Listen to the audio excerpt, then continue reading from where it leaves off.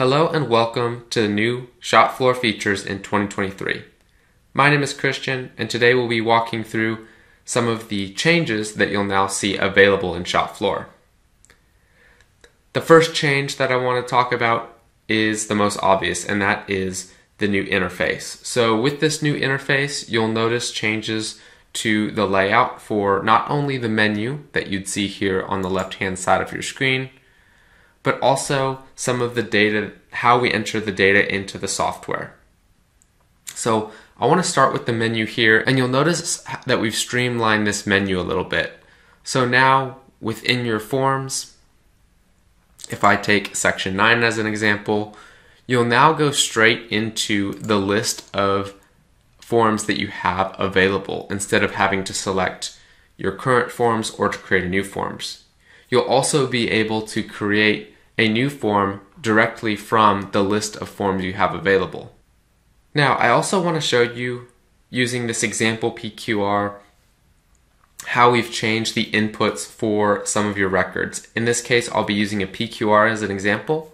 The first thing that you'll notice is the change to the data inputs. So now, instead of having to scroll through the different sections, you'll be able to more easily navigate by using your tabs here at the top. We'll also change the tabs based on the processes that you select. So if you select a process that um, you know would not require gas, so if I edit this example, you'll notice that that tab is removed. So we'll select the information that is appropriate for the process that you've selected. So the next feature that I want to discuss is the bulk continuity entry. Within ShopFloor, you're now able to update continuity for multiple welders. So under our menu, we'll select welders, continuity entry form. And now here on the right hand side, if I click add welders, and I organize by the employee type. Now I'm able to select multiple welders so that I can update all of their continuity. I can also select the entire list as well if I'd like. So when I select those welders, they'll be shown on the right hand side of the screen. From there, I can select the welding procedure that was used or the process and method and add any in additional information or tests. The next thing I'd like to discuss is a new tool that's available within ShopFloor, which is called Welder Management. So under our Welder section again, you'll notice this new Welder Management tab. And this tool allows you to organize and sort through your welders a couple different ways. So your first option is using the gear icon. We can select by shop location or filter by specific welders.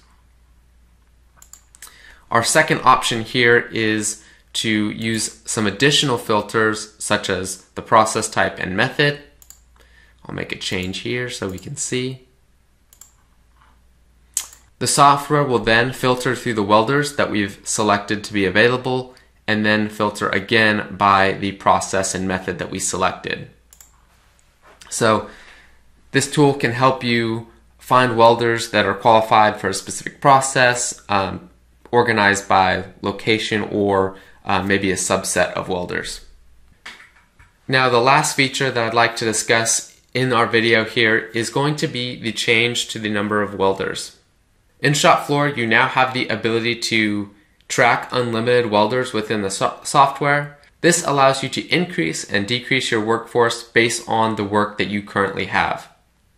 Now, if you'd like to see a personalized demonstration of ShopFloor or if you have any questions, please reach out to us by emailing sales at codeware.com or give us a call at 941 927 2670. We look forward to speaking with you and we hope you have a great day.